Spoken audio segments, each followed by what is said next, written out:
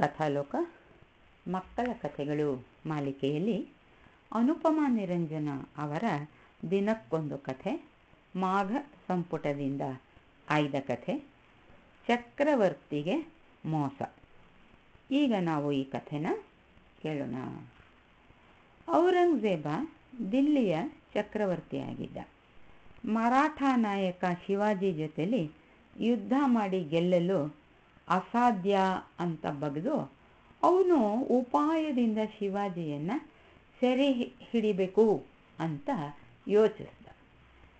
ಮಾನ್ಯ ಶಿವಾಜಿಯವರೇ, ದಯವಿಟ್ಟು ದಿಲ್ಲಿಗೆ ರಾಜ ಅತಿಥಿಯಾಗಿ ಬನ್ನಿ ಅಂತ ಔರಂಗಜೇಬ ಆಹ್ವಾನಿಸಿದ. ಚಕ್ರವರ್ತಿ ಆಹ್ವಾನಿಸಿದ ಮೇಲೆ, ಹೋಗದೇ ಇರೋದು ಸರಿಯಲ್ಲ ಅಂತ ಶಿವಾಜಿ ತನ್ನ ಮೂರು ಜನ ಆತ್ಮೀಯ ಗೆಳೆಯರೊಂದಿಗೆ ದಿಲ್ಲಿಗೆ ಹೊರಟ.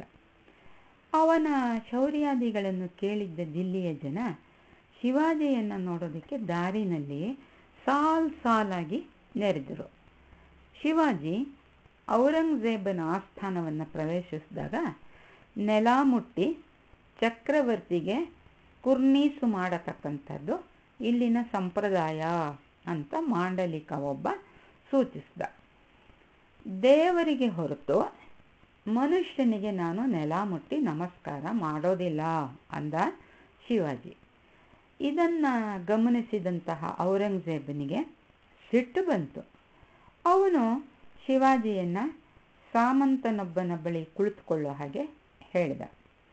ಆಗ ಶಿವಾಜಿ ರೇಗಿ, ನಾನು ಸಾಮಂತನಾಗಿ ಬಂದಿಲ್ಲ ಮಿತ್ರ ರಾಜನಾಗಿ ಬಂದಿದ್ದೇನೆ ಅಂತ ಆತ್ಮಾಭಿಮಾನದಿಂದ ನುಡಿದ. ಇದೇ ನೆಪ ಹಿಡಿದು ಚಕ್ರವರ್ತಿ ಶಿವಾಜಿಯನ್ನು ಸೆರೆಯಲ್ಲಿಟ್ಟು ಬಲವಾದಂತಹ ಕಾವಲು ಹಾಕಿದ.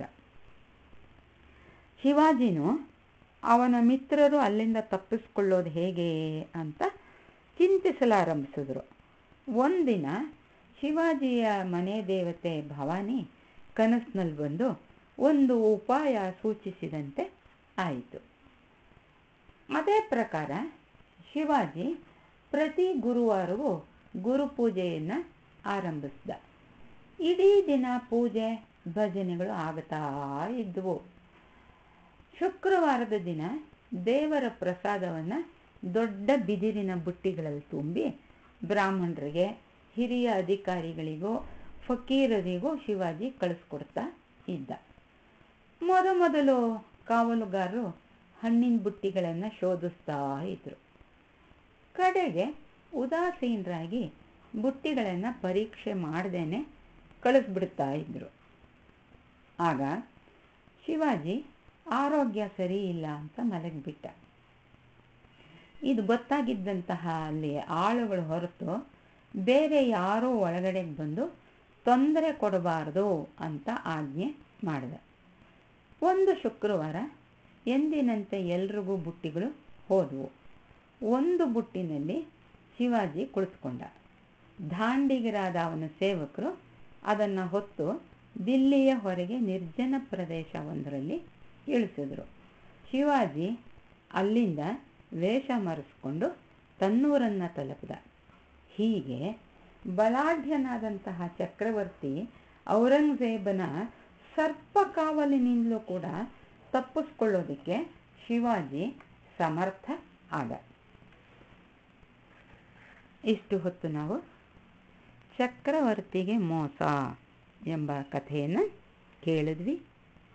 ತಮ್ಮೊಡನೆ ರಾಜಲಕ್ಷ್ಮಿ ಗೋಪಾಲ್ ಪುನಃ ಭೇಟಿ ಆಗೋಣ. ನಮಸ್ಕಾರ.